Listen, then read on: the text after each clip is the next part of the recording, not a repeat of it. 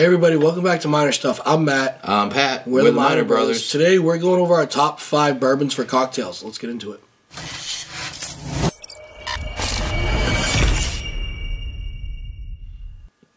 Right, welcome back, everybody. Thank you so much for dropping by and checking out our channel. Please subscribe to this uh, channel, like this video, drop some comments down below. What do you like to use as a mixer for your cocktails?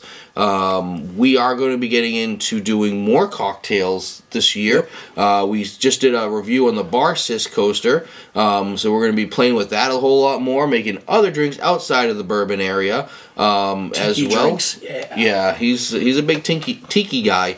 So we're going to be doing that. Um, but what do you want to use when you're making that cocktail? So these are our top five picks. Uh, Matt, why don't you kick us off? All right.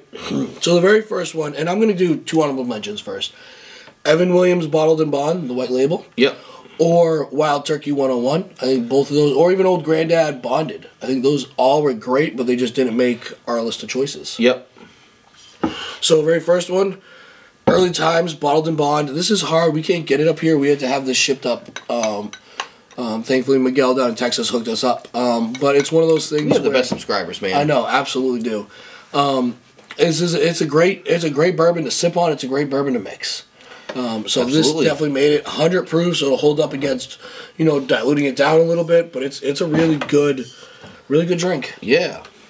So I'm gonna start with a fantastic one, Buffalo Trace. Uh, I know people are going to say, well, you can't get it everywhere. We've been able to find this pretty regularly up where we are now. I mean, it was, you had to fight for it. Shelf, yeah, yeah, now it's almost always on the shelf. I was at the liquor store the other day and there was a whole shelf full of it. Um, so it's definitely getting out there more. 90 proof, which is, you know, not too proofy, so it's good for somebody who doesn't want to be overpowered, doesn't want too much burn. Um, so you will lose a little bit with the mix. You know, if that's a problem for you, then you got to think about that. Uh, but I think it's a smooth one. It's what got me into bourbon. I absolutely love it. I think it's a fantastic. It's a great well bourbon. Yeah. You know, what I mean, you think about a, a, well in a bar. That's a great one to have in there. It's going to be good for neat sipping and cocktails. Yep.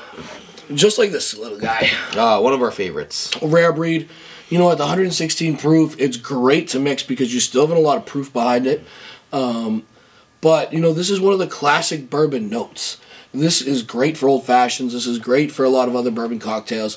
But if you just want to have a neat sipper or something on the rocks, this is going to be a choice too to, to easily win. Yep. Um, one of our favorites, and it's won tons of blinds that we've done. Oh yeah. And it, it really we've done a lot of cocktails with this too. Yep. All right. Next up, Old Grandad 114. Uh, this way we're getting that proof again that you want, and it's just a fantastic mixer. Um, it's great. It's got a little bit it, more of the rye spice in it. Gives yep. a little bit more oomph behind your taste. You definitely lose, especially with like soda. Sometimes you can really lose a lot of that, and this punches through that as well. Um, I haven't used this too much in two other many cocktails, true cocktails. As I say, we don't do a lot of cocktails yet. Usually it's just old fashions if we're doing them. Yep, but definitely another great one, and it's so affordable. I mean it's perfect. You don't want to be dumping something too too expensive yeah. into. So into the next one, Pat, we made by far, hands down, the best old fashioned that we've made so far using this one. Oh, it yes. was a dream. Bulleit rye, and you can put a lot of ryes in. Ryes are great for cocktail mixers and stuff. This one we use this with the Elijah Craig pre-made old fashioned syrup. Yep. By far, hands down, the best old fashioned we've ever made. Yep. And we just I can't even find the Elijah Craig syrup anymore because we I want to find some more to buy it just to do more. Yeah, just to literally take a whole bottle of this. bottle. Yep. doing that. Oh, um, so good. But yeah, you can't have a cocktail mixer without a rye. The rye spice is good, and even having a little bit higher proof stuff like that is good. But this one is just, it's a great mixer. Um, yeah. It, it's it's, you know, it's it's a always on the shelf, always available. Yep.